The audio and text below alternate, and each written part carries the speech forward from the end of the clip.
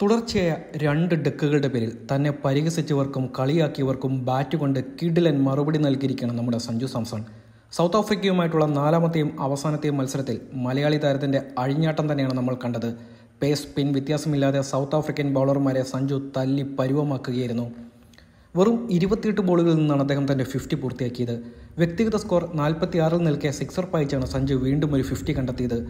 ഈ മത്സരത്തിലെ ഇന്നിംഗ്സിനിടെ ഫസ്റ്റ് ചോയ്സ് വിക്കറ്റ് കീപ്പറായ ഋഷഭ് പന്തിന്റെ രണ്ട് വമ്പൻ റെക്കോർഡുകളും അദ്ദേഹം പഴങ്കതിയാക്കി ഇന്ത്യയ്ക്ക് വേണ്ടി ട്വന്റി ട്വന്റിയിൽ ഒരു കലണ്ടർ വർഷത്തിൽ ഏറ്റവും അധികം റൺസ് വാരിക്കൂട്ടിയ വിക്കറ്റ് കീപ്പർ എന്ന റെക്കോർഡ് നേരത്തെ ഋഷഭ് പന്തിന് അവകാശപ്പെട്ടതായിരുന്നു.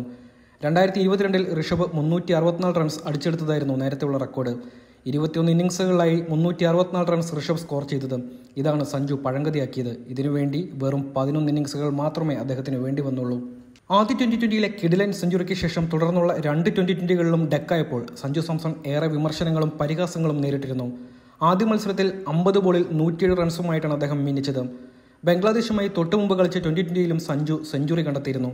ഇതോടെ രണ്ട് തുടർ സെഞ്ചുറികൾ അടിച്ച ആദ്യ ഇന്ത്യൻ താരമെന്ന അപൂർവ റെക്കോർഡും അദ്ദേഹം കൈക്കലാക്കി. ഇതിനുശേഷമാണ് തുടർന്നുള്ള രണ്ട് കളികളിലും സഞ്ജു ഡെക്കായത്. ഇതോടെ നാലാം ട്വന്റി ട്വന്റി സഞ്ജുവിന് നിർണായകമായി മാറുകയും ചെയ്തു. ഈ മത്സരത്തിൽ ഫ്ലോപ്പായിരുന്നെങ്കിൽ അദ്ദേഹത്തിന് സ്ഥാനം നിലനിർത്തുക കടുപ്പമായി മറിയനെ. എന്നാൽ തീപ്പൊരി പ്രകടനവുമായി സഞ്ജു ഗംഭീര തിരിച്ചുവരവ് നടത്തുകയായിരുന്നു. വെറും അൻപത്തിയൊന്ന് പന്തിലാണ് ദക്ഷിണാഫ്രിക്കൻ മണ്ണിലെ രണ്ടാം ശതകം നമ്മുടെ സഞ്ജു തികച്ചത്.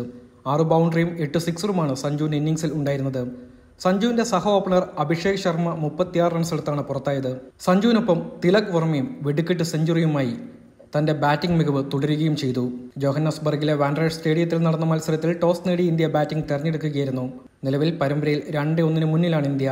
നാലാം ട്വന്റി ട്വന്റിയും വിജയിച്ച് പരമ്പര മൂന്ന് ഒന്നിന് പിടിച്ചെടുക്കുക എന്നതാണ് സൂര്യകുമാർ യാദവിന്റെയും സംഘത്തിന്റെയും ലക്ഷ്യം. എന്തായാലും ഒരു സെഞ്ചുറിക്ക് ശേഷം കഴിഞ്ഞ രണ്ട് മത്സരങ്ങളിലും നിറമങ്ങിയ സഞ്ജു സാംസൺ വീണ്ടും ഫോമിലേക്ക് ഉയർന്നിരിക്കുകയാണ്.